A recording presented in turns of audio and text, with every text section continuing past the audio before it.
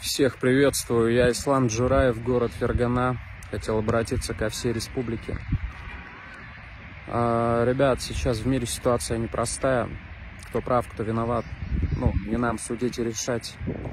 Есть факт того, что в том числе в Узбекистан заезжает много граждан Российской Федерации, Республики Беларусь и Украины. Им всем нужна помощь, потому что я не думаю, что у них есть хоть какая-то поддержка в Узбекистане.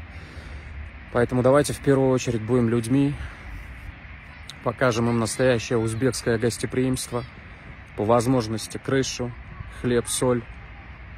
Не оставайтесь в стороне, ребят. Такая проблема может коснуться любого из нас, поэтому в первую очередь надо быть людьми. Я понимаю, что у многих может быть плохие а, впечатления, воспоминания о России, как бы, ну, это дело каждого, но в данный момент людям нужна помощь. Поэтому всем мира.